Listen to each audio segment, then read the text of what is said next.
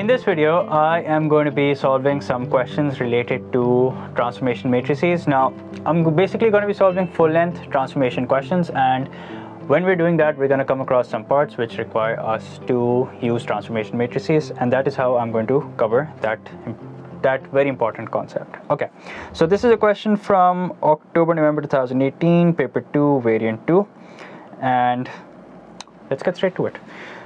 So it says here, triangle A is drawn on the grid, all right? Triangle P, transformation P, sorry, is represented by the matrix minus 2, 0, 0, minus 2.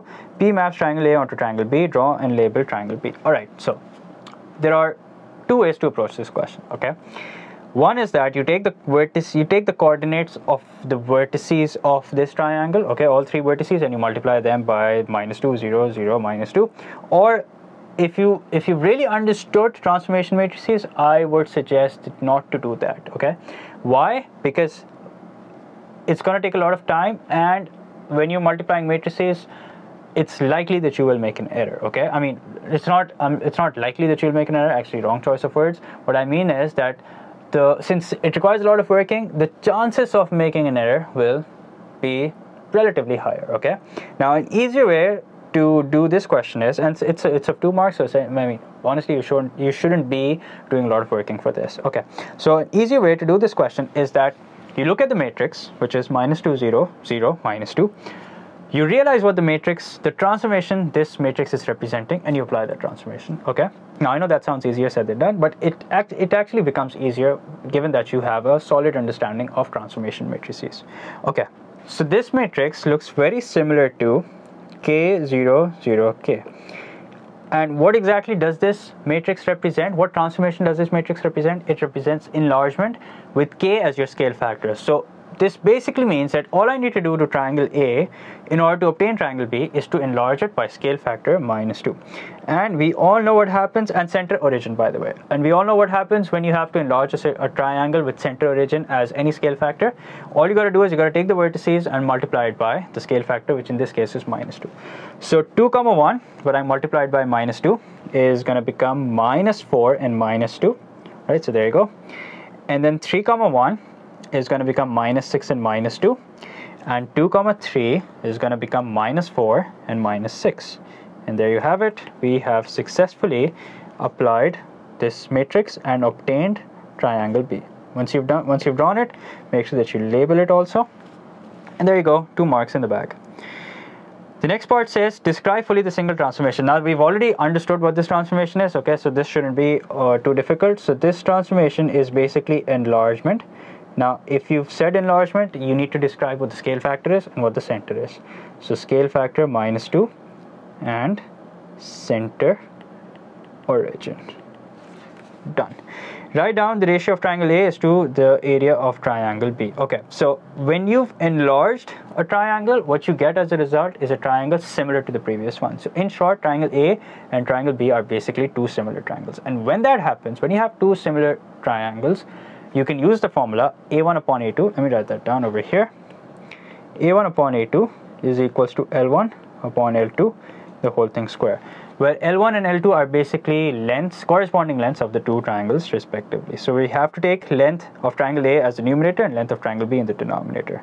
So I'm going to take the base, which is 1, and I'm going to take the base of triangle B, which is 2. So all I need to do is 1 upon 2 the whole thing squared, which means 1 upon 4 or if you want to give this in ratio it becomes 1 is to 4 now one way of doing this would, would have been to calculate the axial areas and then dividing them and giving them as ratio in its simplest form.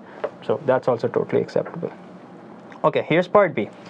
Part b says transformation q is represented by the matrix 1 0 0 minus 1 q maps b onto c draw and label triangle c. Okay again one way of doing this would be to multiply all the vertices of triangle b with this particular matrix and another would be to actually identify what this transformation this matrix is representing and then applying that. And you know i'm going to use that approach. So how exactly do we identify what this matrix is representing? Well the way to do that is fairly simple. It does require a lot of practice don't get me wrong. So here's what you need to do. Our starting points are always 1 0 and 0 1 right? 1 comma 0 and 0 comma 1 right here's A and here's B. Let's write that down. A, B, 1 0 0 1 okay so. Now because of some transformation we don't know what that is but we'll figure it out eventually. What happened was is that I'll use a different color for this okay? A remained exactly where it was okay? Nothing happened to A.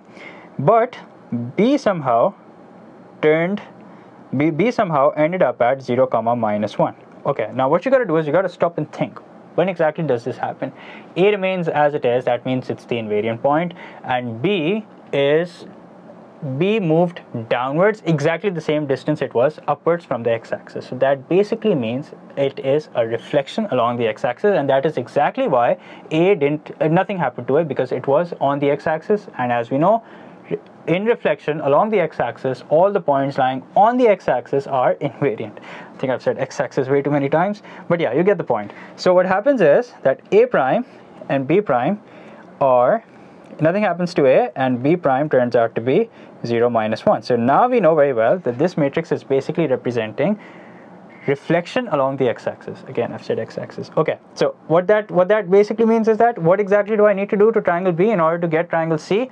I need to reflect it along the x-axis. So that's exactly what i'm going to do now. I'm going to go back. I'm going to look at triangle b. I'm going to see its coordinates. And i'm going to reflect them along the x-axis. Now reflecting any point or an object along the x-axis is quite easy.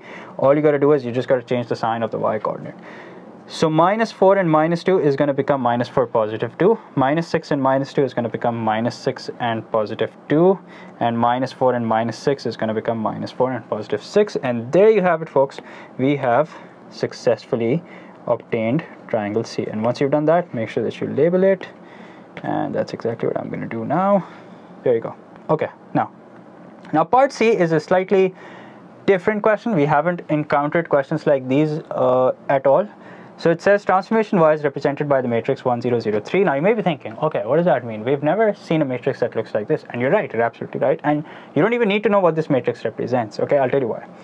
So according to this question, y, which is this transformation, maps A onto D. You need to find the matrix that represents the transformation that maps triangle D onto triangle S. So what this basically means is that this matrix takes A and turns it into D.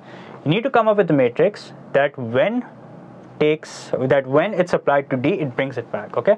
Now let, let me tell you what i mean. So let's say we have a number 5 when i multiply it by 3 i get 15 now if i ask you what should i multiply 15 by so i can bring 5 back okay? So what, what am i what, what exactly am i asking? 15 times 3 is 15 sorry 5 times 3 is 15 i'm looking for a number that i can multiply 15 with so i can get 5 back okay? That means I need to multiply it by 1 over 3 okay? And 1 over 3 is basically what if you think if you think about it is basically the inverse of 3 okay? 3 to the power minus 1 is 1 over 3 so here's how this works.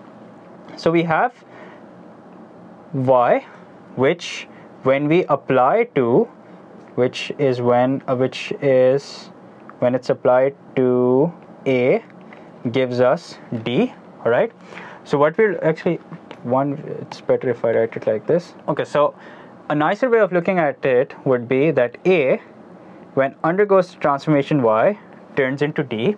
Now what we're looking for is that what transformation should D undergo so that we can get A back? And the answer to that would be Y inverse. So that means all you got to do is, in short, find the inverse of this particular matrix. And that's exactly what I'm going to do. Now, if you remember the formula for calculating the inverse, that's great. If you don't, nothing to worry about. I'll write it over here. 1 upon AD minus BC dA minus B and minus C. Okay so 1 0 0 3 now let's find out the inverse of this. Remember this is y and we're looking for y inverse. So 1 upon 1 times 3 is 3 so 0 times 0 is 0 so 3 minus 0 will remain 3 and a and d are going to swap swap places and b and c uh, we need to change the signs of them so nothing really happens because they're both 0 so this becomes 1 upon 3 times 3 0 0 1 if you really want i mean if you want you can multiply all the elements by 1 upon 3 but it makes no difference to your final answer. You can write the, write it as this also. Totally acceptable. 1 upon 3 times 3 0 0 1 and there you have it. I hope this concept is understood well by all of you. And that's all for this video. I'll see you guys in the next one. Until then take care